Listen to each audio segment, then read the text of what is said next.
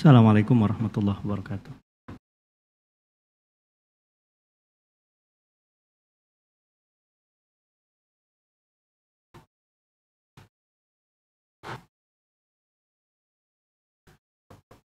إن الحمد لله نحمده ونستعينه ونستغفره ونعوذ بالله من شرور أنفسنا ومن سيئات أعمالنا من يهده الله فلا مضل له ومن يضلل فلا هادي له. أشهد أن لا إله إلا الله وحده لا شريك له. وأشهد أن محمدا عبده ورسوله أدى الأمانة ونصح الأمة وبلغ الرسالة وجاهد في الله حق جهاده. اللهم صل وسلم على هذا النبي الكريم وعلى آله وصحبه ومن سار على نهجه إلى يوم الدين. يا أيها الذين آمنوا اتقوا الله حق تقاته ولا تموتن إلا وأنتم مسلمون. يا أيها الناس اتقوا ربكم الذي خلقكم من نفس واحدة وخلق منها زوجها وبث منهما رجالا كثيرا ونساء فاتقوا الله الذي تساءلون به والأرحام إن الله كان عليكم رقيبا يا أيها الذين آمنوا اتقوا الله وقولوا قولا سديدا يصلح لكم أعمالكم ويغفر لكم ذنوبكم ومن يطع الله ورسوله فقد فاز فوزا عظيما Sidang Jumat rahimani wa rahimakumullah. Kita panjatkan syukur kita kepada Allah Subhanahu wa taala atas segala nikmat yang Allah curahkan kepada kita, terutama nikmat iman dan nikmat Islam. Semoga Allah catat kita termasuk hamba-hambanya yang bersyukur dan mudah-mudahan kedua nikmat tersebut Allah benamkan dalam diri kita sampai ajal menjemput kita bagaimana firman Allah wala tamutunna illa wa antum muslimun janganlah sekalian janganlah sekalian wafat kecuali dalam keadaan Islam Salam dan salam semoga tercurahkan kepada Nabi kita Muhammad Sallallahu Alaihi Wasallam kepada keluarganya, para sahabatnya, para salihin. Kita berharap mudah-mudahan kelak Allah kumpulkan kita bersama mereka di surganya. Sidang Jumat rahimani wa rahimakumullah. Allah berfirman di dalam Al-Qur'an, A'udzu billahi minasyaitonir rajim. Bismillahirrahmanirrahim.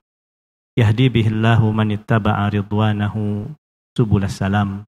Sadaqallahul azim. Sidang Jumat rahimani wa rahimakumullah. Ayat ini ayat yang agung. Salah satu di antara ayat-ayat yang ada di dalam Al-Qur'an dan memberikan pesan kepada kita betapa pentingnya wahyu Allah yang terakhir menjadi pedoman dalam hidup kita. Allah berfirman, Yahdi bihillah manittaba'a ridwanahu subulas salam. Allah memberikan hidayah kepada orang yang mengikutinya.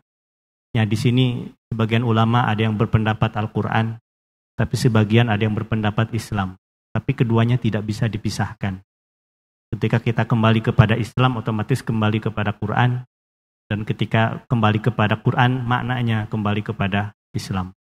Kata Allah, Yahdi bihillahu manittaba'a ridwanahu. Siapa yang yahdi bihillah, Allah akan Allah akan memberikan hidayah kepada siapa yang mengikuti petunjuknya. Subulas salam, jalan-jalan keselamatan.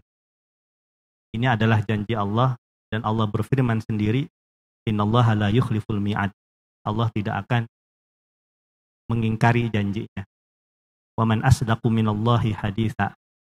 Dan perkataan siapa yang paling benar daripada perkataan Allah Subhanahu wa taala.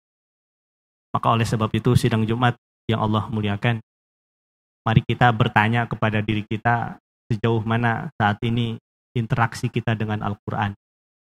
Tentunya interaksi bukan hanya sebatas membaca, tetapi sejauh mana kita memahami kandungan Al-Qur'an. Allah berfirman di dalam Al-Qur'an, Inna hadzal Qur'an yahdi lillati hiya aqwam. Sesungguhnya Al-Qur'an itu memberikan petunjuk kepada jalan yang benar. Artinya tidak ada sumber nilai, tidak ada pedoman hidup yang benar atau yang paling benar selain Al-Qur'an. Allah sendiri yang mengatakan inna hadzal Qur'an yahdi lillati hiya aqwam. Sesungguhnya Al-Qur'an itu memberikan petunjuk atau jalan yang benar bagi kita. Maka apakah kita termasuk orang yang interaksi dengan Al-Quran cukup intens memahami Al-Quran? Atau na'udzubillah kita termasuk orang yang seperti digambarkan oleh Allah dalam aduan Rasulullah. Waqala rasulu ya Rabbi inna qawmi takhadu hadal Qur'ana mahjura. Wahai Allah, kata Rasulullah, sesungguhnya aku melihat umatku di akhir zaman kelak termasuk orang-orang yang meninggalkan Al-Quran.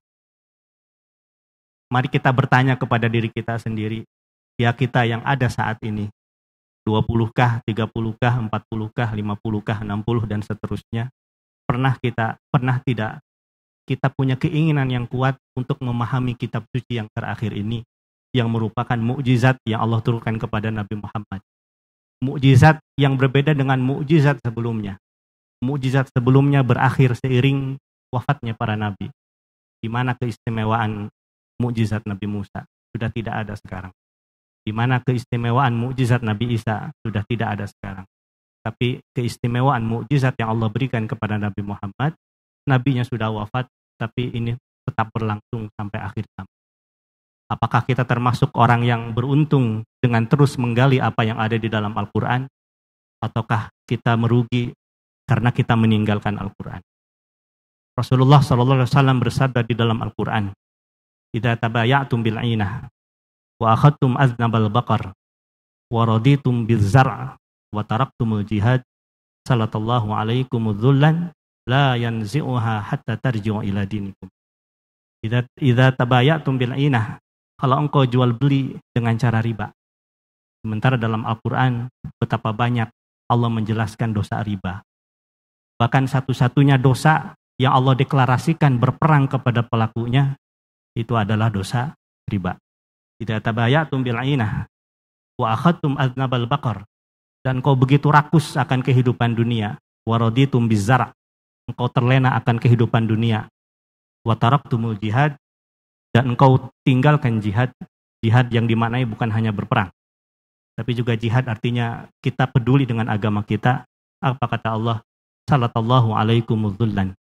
Allah akan timpakan kepada kalian kehinaan la yanzi'uha hatta tarju ila dinikum dan kehinaan tersebut tidak akan Allah cabut sampai kalian kembali kepada agama kalian. Maka kuncinya adalah kembali kepada agama kita, kembali kepada Al-Qur'an. Kita mungkin melihat umat Islam di berbagai macam belahan dunia selalu menjadi objek. Nasibnya tidak sebaik yang kita harapkan. Kita harus introspeksi kepada diri kita juga. Boleh jadi kita memang meninggalkan Al-Quran seperti aduan Rasulullah SAW kepada Allah Subhanahu Wa Taala, sebagaimana yang Allah abadikan di dalam Quran surat Al-Furqan yang tadi khatib bacakan. Wa qala Rasulu ya Rabbi inna qaumi ittakhadhu hadzal Qur'ana mahjura. Maka marilah kita introspeksi diri usia kita sudah segini dan ini akan dimintai pertanggungjawaban sejauh mana kita memahami Al-Quran sejauh mana kita interaksi dengan Al-Quran. Jangan sampai nanti di akhirat Al-Quran bukan menjadi pembela kita tetapi Al-Quran justru malah yang akan mengadili kita. Sebagaimana doa Nabi Shallallahu Alaihi Wasallam Allahumma ja'alil Qur'ana hujjatan lana la hujjatan alaina. Ya Allah jadikanlah Al-Quran itu menjadi pembela kami, bukan menjadi sesuatu yang melaknat kami nanti di akhirat. Barakallahu li wa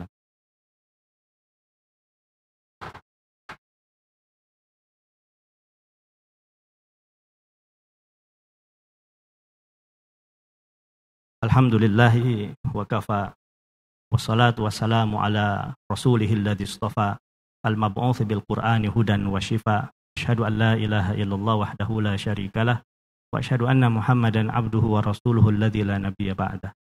Sidang Jumat yang Allah muliakan. Lalu kita lihat di akhir ayat yang khatib baca yahdi bihillahu man ittaba'a ridwanahu subulas salam. Allah akan memberikan hidayah dengan Al-Qur'an siapa yang mengikutinya subulas salam, jalan-jalan keselamatan.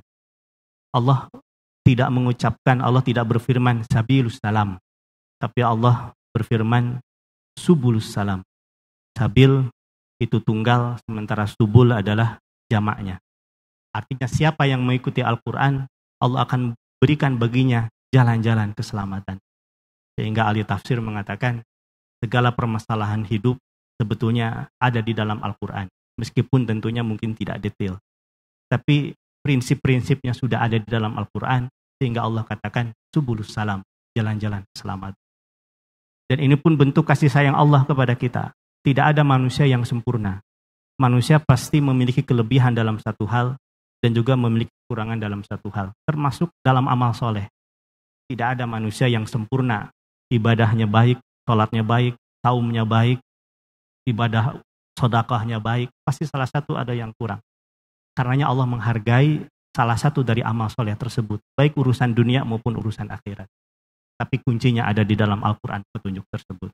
Maka mari kembali kepada Al-Quran yang dengannya Allah akan tunjukkan kepada kita jalan-jalan keselamatan dan mudah-mudahan jalan-jalan keselamatan itulah yang menjadi wasilah kita untuk berkah dalam kehidupan kita dunia dan akhirat.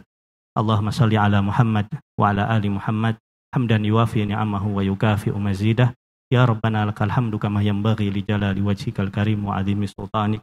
Allahumma ighfir lana wa li ikhwanina alladhina sabaquna bil iman.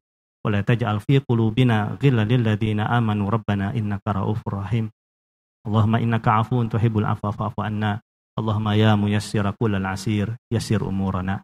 Allahumma ya musahila kullal asir sahil umurana.